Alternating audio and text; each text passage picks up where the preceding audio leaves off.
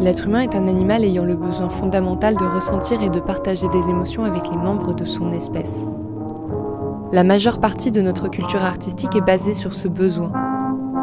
Dans un spectacle, les stimuli nous arrivent de toutes parts et vont créer une multitude de réactions conscientes et inconscientes dans notre cerveau.